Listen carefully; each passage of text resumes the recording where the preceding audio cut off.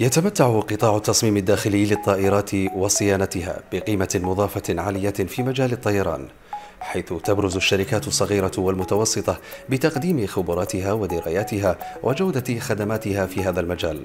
كما تحظى باهتمام كبير من قبل شركات الطيران لما تقوم به من دور في العمل على خفض أوزان المعدات والتميز من خلال توفير تجهيزات داخلية بناء على الطلب وضمان أفضل استخدام للمساحات. ال event هذا كثير يعني إحنا سعيدين إنه إحنا we met our clients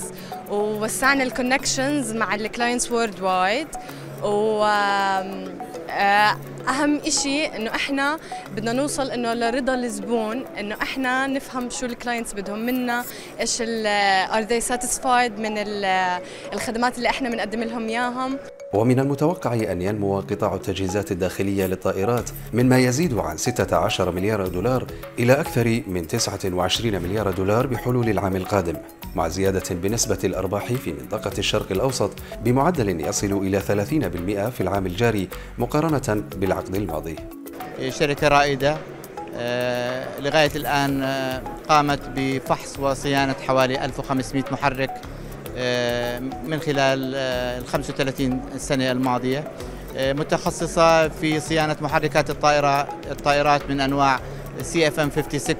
فاميلي داش 3 داش 5 وقريبا جدا إن شاء الله داش 7 هذا المعرض بفعالياته يعتبر حدثا مناسبا بشكل كبير للمنطقة خاصة وأنها تمتلك ثاني أكبر أسطول طيارات في العالم وتحقق ثاني أسرع معدل نمو في صناعة وإصلاح وتجديد الطائرات. مع توقعات بتضاعف الطلب خلال العام القادم ليتخطى 13 مليار دولار بحلول عام 2027 عبد الله الزعبي قناة الغد دبي.